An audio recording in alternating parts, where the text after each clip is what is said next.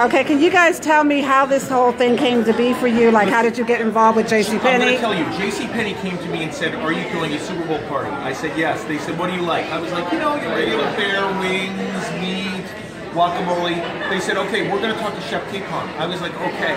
I didn't really think that much of it. I came here. He made his chicken lollipops. I put them in my mouth, and I don't know if J.C. Penney is okay with me saying this, but it was an orgasmic experience. I just want you to know, I can't Mind believe I'm- blowing. It was mind blowing. blowing experience. I can't believe I'm even like hard selling this so much. But everyone should go to the JCPenney website and look at his recipe for those chicken lollipops. If there's any reason I was put on this earth, it was to tell you to get Chef Capon's chicken lollipop recipe.